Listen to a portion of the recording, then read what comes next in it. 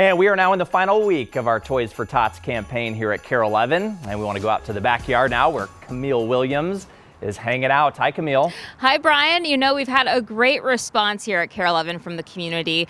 Each year, we team up with U.S. Marines for this Toys for Tots campaign. And like you said, this is our final week. Saturday is the last day for you to come and bring unwrapped new gifts so kids can have a merry holiday season here. So we're going to start with one group who brought um, Dell EMC. They brought some toys and some cash. Tell us what you guys got here. Hi, Hi, BJ Kowalski with Dell Technologies. Yeah, we were the employees at Dell managed to collect in Minnesota here 5100 over $5100 this year and brought it in at toys and we had it stacked up under a tree and brought them over this morning. All right. Well, thank you guys so much for being here. I know it's a bit windy and chilly, so I appreciate you standing here. We have another group here, 360 Financial. Tell us what you guys brought and how much you raised.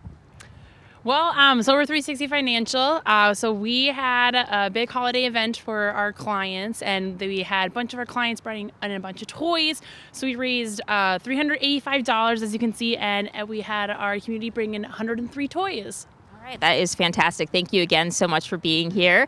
And we have Three Points Consulting. Tell us what you guys brought and the cash.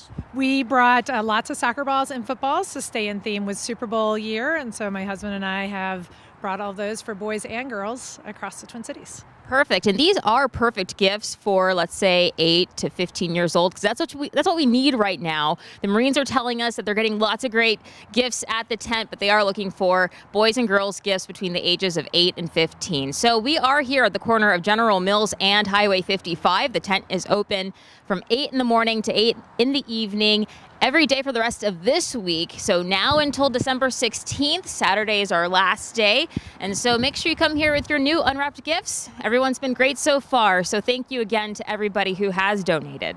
Back yeah, to you. Big thank you. Big thank you. And uh, Andrea Yock helping us out with our Super Bowl coverage. Tell her hello for me. Brian says hi. Hi, Brian. They look great hi, out there. Hey, awesome. Thank you guys so much.